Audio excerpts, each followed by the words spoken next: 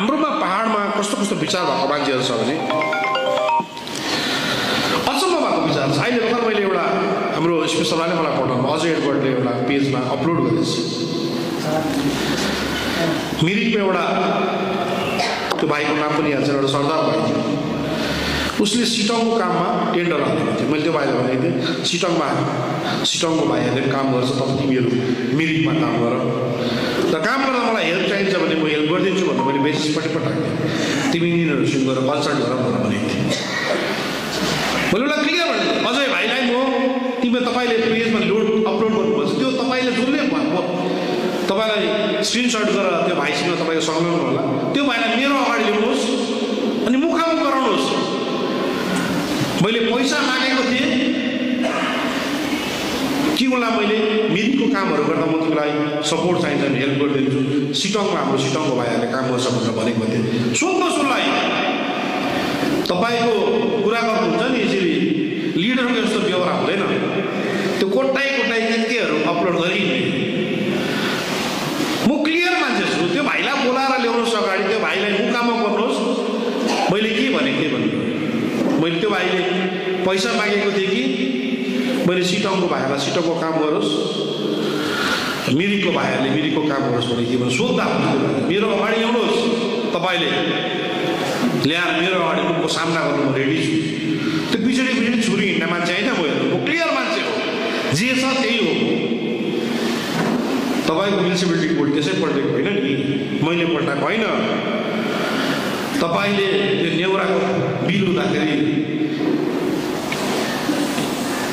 Chairman कम कम commissioner हुँदा हुँदै तपाईँ त्यहाँको तिस लाख रुपियाँ कमिसनका खबर हाम्रोमा छ कमिसनरहरू तपाईँसँग त्यसै बिस्केको होइन तपाईँले मलाई बुक खोल्नु नलाउनुहोस् म यो सबको खोलिहिँड्ने मान्छे होइन तर मलाई चलाइहाल्नु मैले भनेको मैले भने तपाईँले आज जुन पेजमा अपलोड गर्नुभएको छ भोलि ल्याउनुहोस् त्यो भाइलाई मेरो छेउमा र मेरो छेउमा बाह्र पुरा प्रेस राखेर सोध्नुहोस् मैले के भने भनेको म त्यो कमिसन खाइरहने भड्किने आत्मा होइन म धेरै लामोदेखि जिटिए चलाएर आएको। के गर्नुपर्छ कसो गर्नुपर्छ मलाई थाहा छ।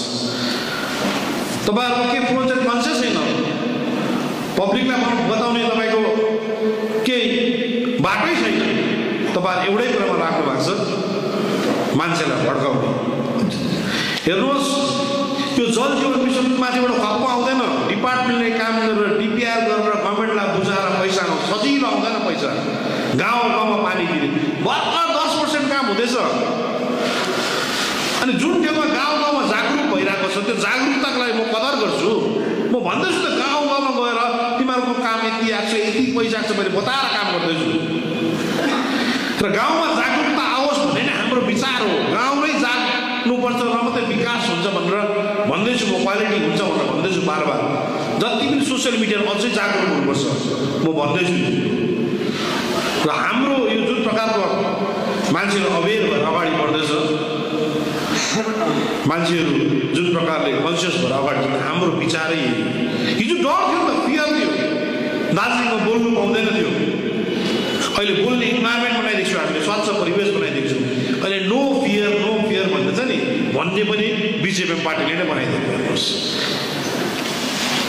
हिजो त्यही भएर दार्जिलिङ छोडेर भाग्ने अवस्था थियो। र अहिले स्वच्छ परिवेश र बोल्ने परिवेश बिजेपी पार्टीले बनाइदिएको छ। बोल अझै बोल। कन्स्ट्रक्टिभ कुराहरू बोल तर भड्काएर तिमीले भोट पाउँदैनौ। भड्काएर डिस्ट्रक्टिभ प्रकारले काम गरेर कहिले पनि मान्छेले भोट जित्दैन हेर्नुहोस्। हामी त सङ्घर्ष गरेर निक्लेको सजिलो परिवेशमा कफी खाँदै बनिएको लिडर होइन? जेल गयौँ। मान्छेको गाली खायौँ र पनि हामी काम गरिरहेको छौँ। जिटिएकै लोक भए त म जिटिएमै बसिरहेको थिएँ। नि छ महिना सात महिना भइसक्यो। पाँच दिन जस्तो अफिसहरू छु गयो सायद आठ दिन अझै किन मान्छेलाई गाउँ गाउँ घर घर ढुलिरहेको छ? तर यो सब चिजहरू दार्जिलिङको राजनीति दार्जिलिङ गर्ने पोलिटिक्स गर्ने कल्चर यो कल्चरलाई चेन्ज गर्नुपर्छ। यो परिवेशलाई चेन्ज गर्नुपर्छ। र एलिगेसन र लालचनहरू त कति लाग्यो तर आफू ठिक हुनुपर्छ हेर्नुहोस्। आफू चाहिँ ठिक हुनुपर्छ। आफू ठिक भयो भने कसैले के गर्छ? यस्तो सोसियल मिडियाले त केही गर्नु सक्दैन। सबभन्दा बेसी गाली खाएर निक्लेको त म त मैले जति गाली खाएर पनि निक्लेको छैन। यस्तो सोसियल मिडियाले गाली गर्दा मलाई केही हुनेवाला छैन हेर्नुहोस्। सोसियल मिडियामा अपलोड गरेर केही हुन आफ्नो जितेको कमिसन त सम्हाल्नु सकेन। लु भन्नुहोस् त उहाँको स्पिचमा पहिलाको स्पिचमा के भन्थ्यो? हाम्रो वीरेन्द्र दाजुलाई हामी पहिला हामी सिकाउँदा आफ्नो वार्डै हाल्ने नेता भन्नु भन्थ्यो भन्दैन उहाँ आफू चाहिँ जित्यो। लु भन्नुहोस् त। म कसैलाई नभन्नु नबिजाउँ भन्छु नि। तर साह्रो गर्दा चाहिँ नि मलाई पनि रिस उठ्छ कोही कोही बेला तर कन्ट्रोल गर्छु म एकदम मेरो तातो हुन्छ तर मैले दबाउँदा दबाउँदा पुरा दबाइसकेको छु। बुझ्नु भएन मैले मौरी जस्तो भएर काम गर्दैछु। एकदम चुपचाप आफ्नो लगनमा काम गरिरहेको हुन्छु।